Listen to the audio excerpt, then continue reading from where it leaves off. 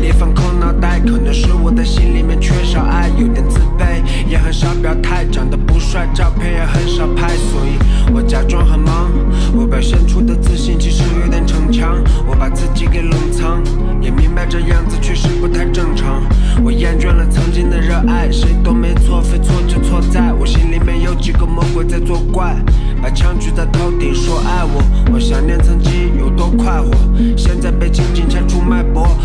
己活得一塌糊涂。当然我明白这一切都怪我，和朋友们渐渐疏远，同时我的自私也慢慢凸显，也不是我活得太片面肤浅，是自我封闭能让我变舒服点。I know it, life's a movie，可是我这一部的评分才一点六，我的激情在渐渐枯萎，每天睡着都要在上午的七点后，我把自己封锁在房间，还在幻想你在我的旁边，抬头看我吃凤梨罐头，你说很像一部你看过的港片，变成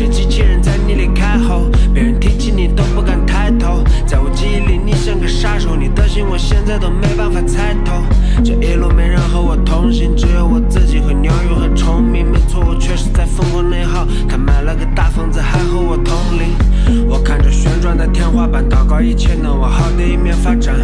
我陷入无尽的挫败感，天空在哭泣，我又忘记带伞，想拍一部电影，里面有花海和飞舞的孔雀，那里我不会再骗你，对你的爱只会更加的猛烈，和朋友们欢声笑语，这一切都是我的一场梦，梦里我睡得很安稳，